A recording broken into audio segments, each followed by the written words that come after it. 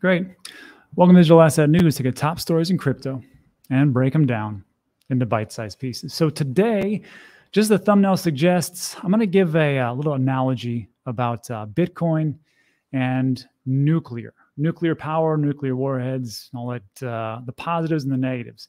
And uh, it's become abundantly clear that, uh, as I said in the thumbnail, the sword can cut both ways. So we're going to take a look at uh, what's going on in the in the news uh, Swift ban, all crypto outcome, the FBI and national security. We're also going to take a look at a little story about uh, how an executive from Credit Suisse is coming over to Coinbase, and I think there's going to be more of that.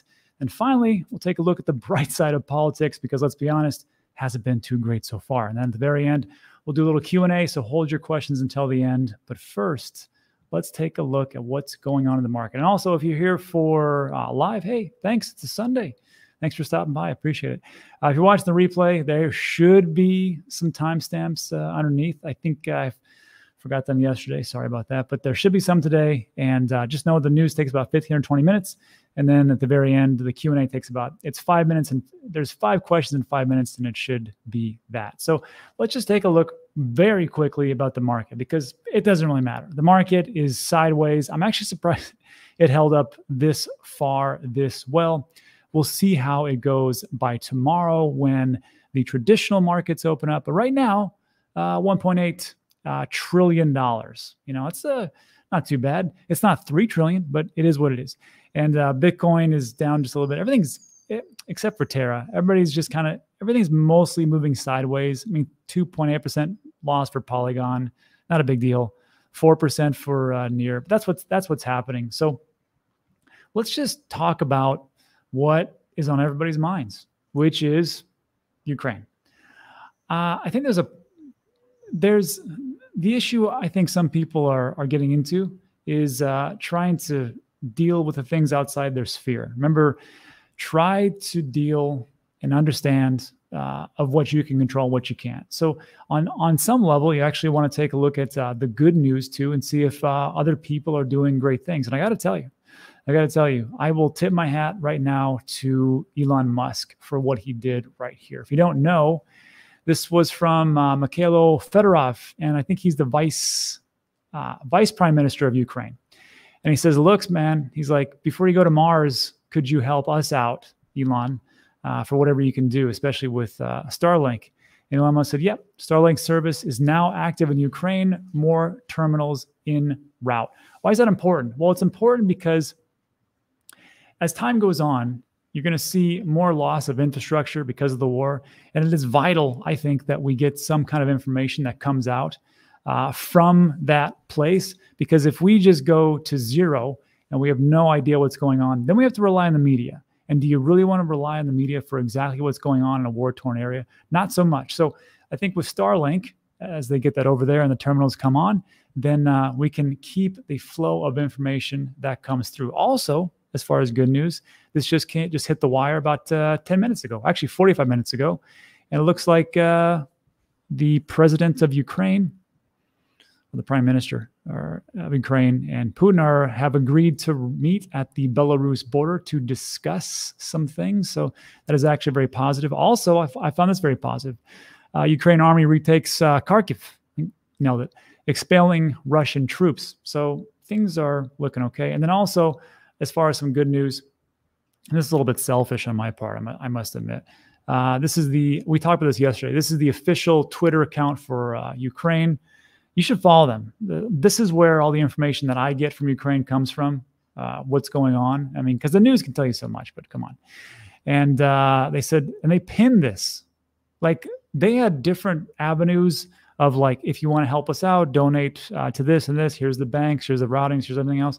But they did pin just the crypto because I believe that they're getting a lot more uh, as far as donations in in Bitcoin, Ethereum, USDT, or and and the things they're taking. And also, I saw a tweet where they're actually offering multi-chain. So uh, I linked this specific link in the description. If you want to give to Ukraine, it's up to you. And uh, this is what I was talking about. You know, you somebody said a very smart thing. Uh, they said you can't help anybody if you're broke. And uh, if you were, you know, like, you know, James over Invest Answers, we're trading on this day, pretty good day. And now you're able to uh, giveaway funds. So for me, I'll be donating uh, all the proceeds from this last probably month uh, from my coin from uh, uh, YouTube uh, for this because it's not just what Ukraine needs now. Like I said yesterday, it's what they're going to need in the future as far as the refugees and the, and the displacement and things like that. So, let me think about that. but let's go into the show, which is it's it's tough to put together. So this thumbnail that uh, I have, it's because when I was thinking about things, it really has come to light just how powerful Bitcoin, crypto, and digital assets really are. I mean, this is at the heart of some things, a lot of things. And when I say the sword cuts both ways, it's the positives and the negatives. So I'm going to take you down a little bit of history trip. So, look, the first nuclear explosion was on July 16, 1945, in uh, New Mexico. July 16, 1945, so long ago, right?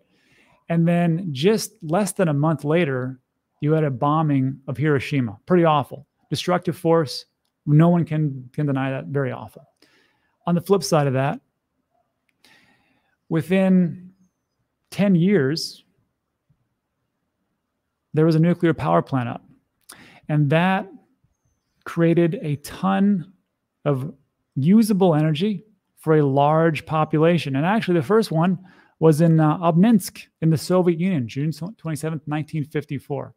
So, what does this all come down to? It all comes down to a couple of things that's going on right now globally, crypto, digital assets, where these things all go. And I think right now, I mean, you if you thought that the SEC coming down on the Ripple was a big thing, I think this is the bigger issue right now about what crypto can be. And I think it's going to come out on top. I'm going to tell you why. So, first up, there's this whole thing about Swift. I need you to understand what Swift actually is. I know some of you know what it is. A lot of you know what it is, which is rare, I'll be honest with you, because in, in the normal society, no one, everybody's like, Swift, I don't know what it is. I go and I transfer money and uh, go someplace and that's it. I go to my bank, I go to Wells Fargo, they do their thing and that's it. Inflation, I don't know how that works. Fed Reserve, what is that? It's federal? No, it's not. I have no idea. So let's just break it down for anybody who may not know. So SWIFT, or the Society for Worldwide Interbank Financial Telecommunications, I love how they said this. Think of them as the Gmail of global banking. All it is is a, is a messaging service. That's all it really does. It just says, hey, you got some money here. You want to transfer over there? That's the message. Hopefully it makes it, right? It doesn't always. I think it's like a 1% or 2% uh, latency. It doesn't actually go through, but that's Swift. It's been around since 1977. Bankers use SWIFT to confirm orders, payments, and trades, among other things. European countries use it to pay Russian companies for oil and gas, sure. And uh, cross country money transfers to pay bills or send money. And that's why XRP was supposed to be the big thing because it was going to eliminate those types of things and all the different uh, transaction fees. So here's what's going on the global community, well, NATO and some other different uh, organizations and countries, they want to block Russia using SWIFT. But here's the holdup blocking SWIFT in Russia could actually hurt some European countries, particularly Germany and Italy. Without SWIFT, it would be harder for these countries to buy much needed Russian oil and gas. And others argue that cutting Russia out of SWIFT will just thrust into the arms of alternative messaging services or crypto. So here's the thing.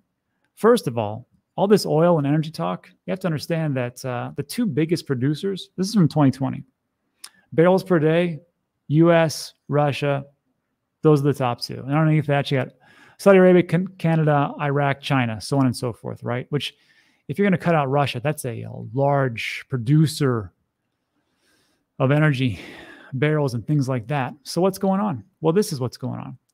So, right now, as of 12 hours ago, US and the EU agreed to cut Russian bank out of the SWIFT financial system as part of the transactions. I didn't think they were going to do it, but apparently they are.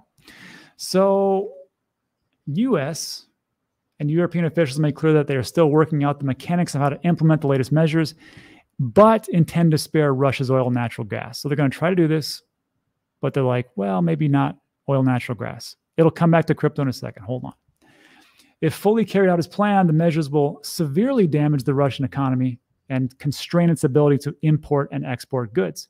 Here's the thing they want to try to also restrict the central bank restrictions or put those in place and target access to more than $600 billion in reserves that the Kremlin has at its disposal. and are meant to block Russia's ability to support the ruble as it plunges in value amid tightening Western sanctions. Here's the thing we're going to talk about this in a second. Analyst warns of regulatory risk if Russia is able to use crypto to evade sanctions. Remember, they just said 600 billion? That's a lot of money. That's a lot of money. That's just in the reserves. The entire market cap of crypto is 1.8 trillion and slipping, I might add. So even if Russia wanted to avoid, they could avoid some if they really are wallet number three and, and accumulating massive amounts of Bitcoin.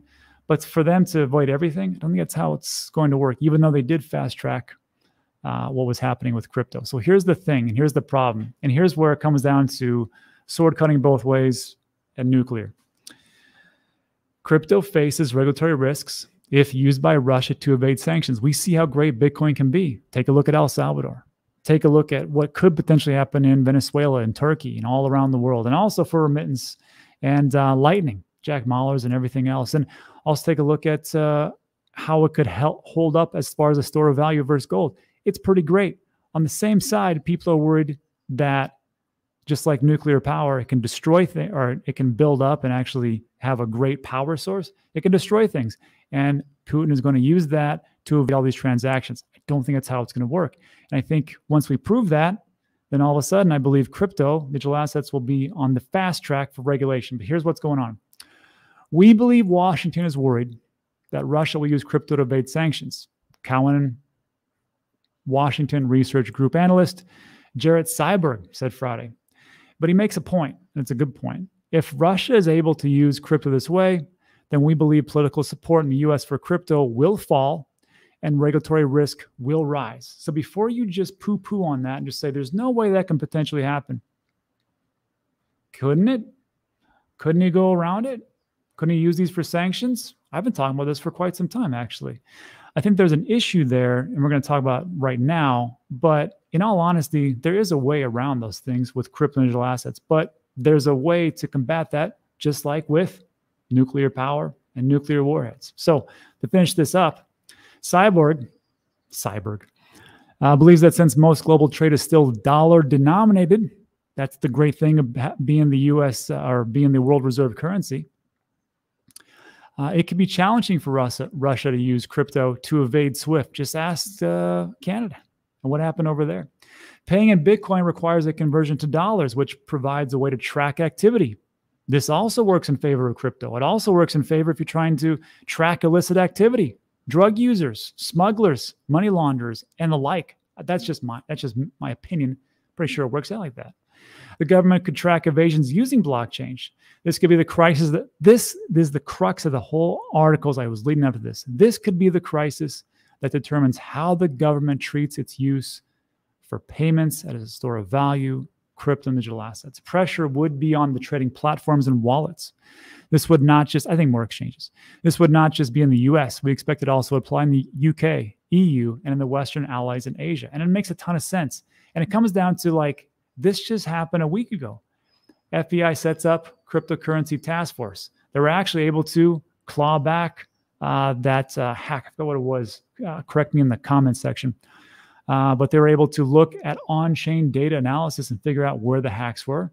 And this is, I believe, why they do these types of things because you can track wallets like crazy. Also, remember that uh, wormhole hack? Uh, people were able to track that down just by on-chain analysis. So it's pretty easy to do if you're trying to avoid sanctions. And also, if you want to do illicit activity, where would you want to do that? Would you want to do that in Bank Swiss or would you want to do that on the blockchain? We'll get to that in a second. And then I think this also is why this just happened. Uh, what was this, a month ago? Biden labels crypto a national security threat. I think they knew things were coming out of the pipe. I think they knew where things were going. And I think they were trying to head it off because it's just a big chess game.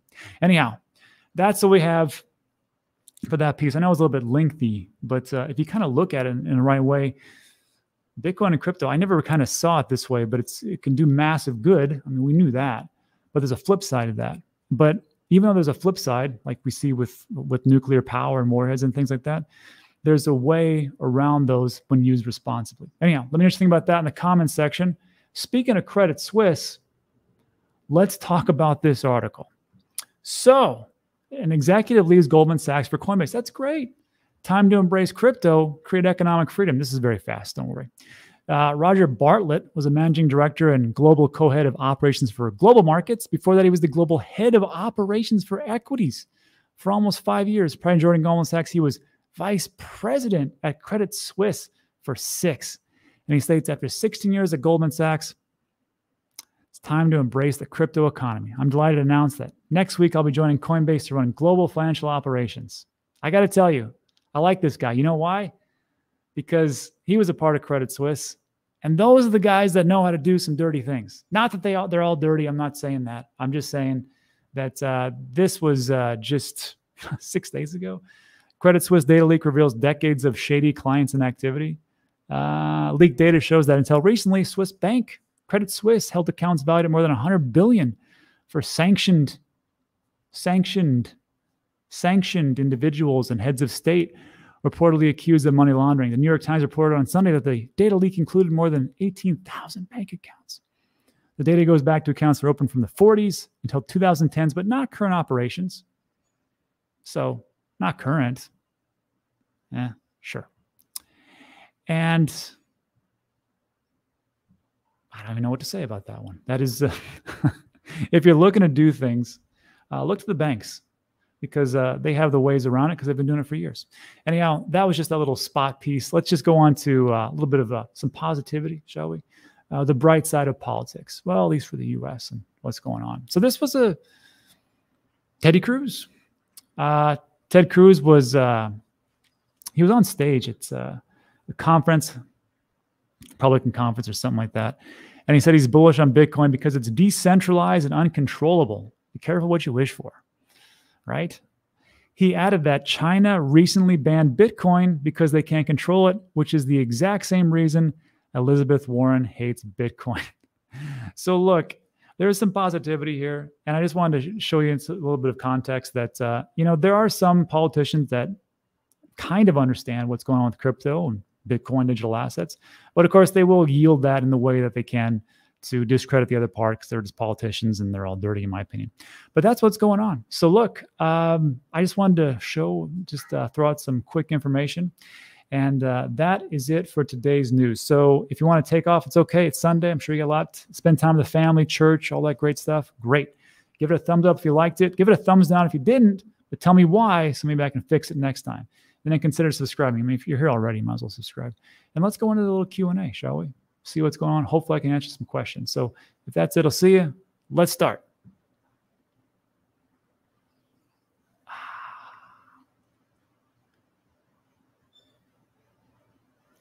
Well, thanks. Thanks, Bridge Bridge. I appreciate it. Let me hide this so I can get this. Okay. There's always a delay. Sorry, there's like a 30 second delay be- between now and when I can actually get the questions. So sorry. No nuclear power in current design. That's true. Greetings from Ecuador. Hey, Rob. Uh, hey, Rob. Thanks. Question number one. Hey, Rob. Thanks for your time, especially on a Sunday. Yeah, I probably should have skipped today, especially on a Sunday. Wondering what you think about the decline in Uniswap price, DeFi in general. I think the natural progression will be from centralized exchanges to decentralized exchanges or DEXs. I don't see centralized exchanges staying afloat forever, but you have to understand if you're going to do regulations, you need a centralized exchange because that's the point of failure where you can shut things down. You saw it in Canada, and even Jesse, I almost said Jesse Owens, Jesse Powell, the CEO of Kraken, said, Hey, if you don't want to have government interference, get yourself a cold storage wallet and use that because if they come to me, I will shut you down. And he said that. And I have to I have to commend him actually. Uh did I miss the bad news? No, it does. I mean, just there is bad news and good news all around. And again, it's all about like every morning I say the same thing on Twitter and I say, uh, here's to a great day, you know, here's to, or, you know, I feel a great day's come on, or whatever I say. It's always about the great day. And today I, I had to make it crystal clear. I was like, here's to a great day, even though half the world's on fire. Try to control what you can control within your circle and be content with that. That's what it is. Because if not, you just burn up. All right.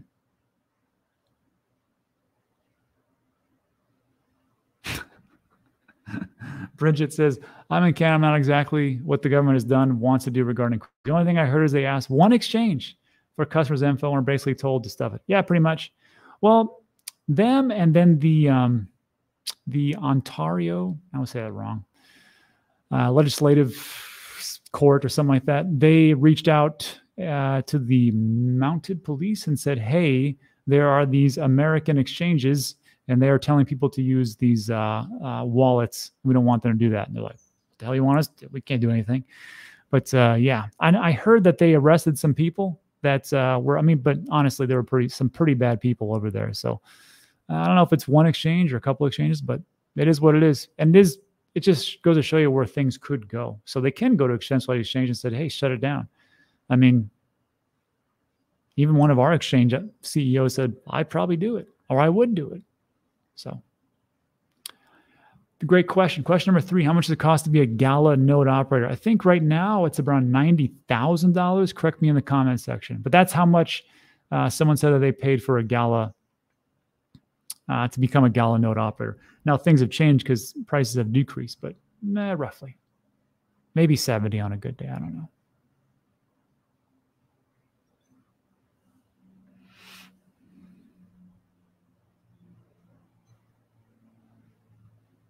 Great. I'd love to go to Iceland. I'll be in London on May. Ah, question number three. What do you think uh, the UE? This is, I think it's the EU, uh, European Union, trying to pass a bill to ban crypto. And I think it was the, it wasn't the EU, it was uh, the European Union Parliament, which is the legislative body of the European Union. And uh, they came out, and there was a, a, leaked document that said that they wanted to uh, get rid of or ban proof of work cryptos because of, well, they said it was for the ESG issues, which is uh, the um, environmental issues. But I think also was, there was a problem with energy because right now, with what's going on in Ukraine and and uh, that's going to boost up the uh, price of uh, oil. So if you're trying to get you know, and energy and gas and things like that, it's going to be a little bit more pricey. So maybe you don't want a bunch of people running a bunch of Bitcoin nodes. So uh, I think it was the the bill was supposed to come through and for a vote on February 28th, I think. 28th, 27th, and they de- they delayed it because there was all this talk about they were trying to the wording looked like they were trying to ban the proof of works. That's all. That's all I know. I think that's what I, all I, anybody knows right now. Ah, let's see. It's a loaded question. Question number four What do you think the implications are for Ukraine accepting digital assets? Well, if you look at the transaction volume, you know, let's try something. I don't know if I can. Let me see. Do, do, do, do. Now it'll take too long. But what it is is you can. Ah, this won't take that long. Let me let me show you something. Let's see.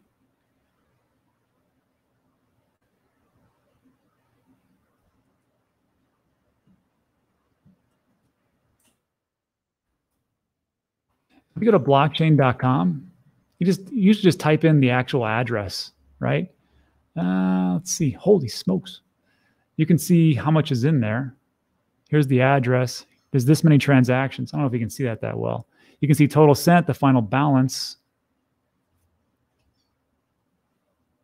And I believe somewhere you can see the actual uh, price for each transaction. And I can just tell you, like somebody sent like a boatload of uh, of Bitcoin, and uh, when they did that, it was like 18. I think it was like over a million dollars of the Bitcoin, and it was like 18 cents or something like that. So, how do I see it? Uh, what I see right now, whoops, what I see right now is they have the things that they need all for the most part. I'm not on the ground, obviously, so feel free to correct me.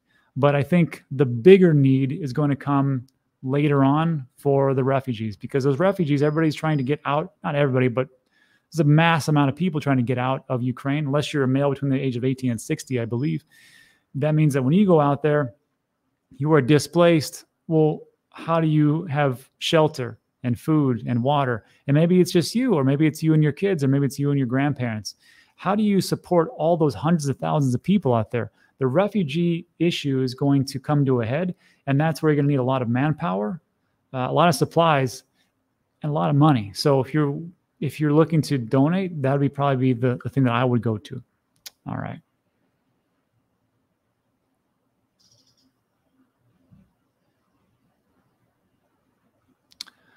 There are so many bots here. Yeah, maybe.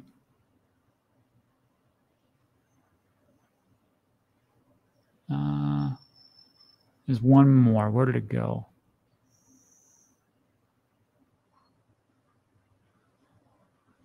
Oh, Lord. I didn't want to get into that. Ah. So, last question. I got to get out of here. I'm late. What what you invest in now if you had a lot of dry powder? I don't have a lot of dry powder, but I can tell you what I invest into every single day. Um, I just dollar cost average.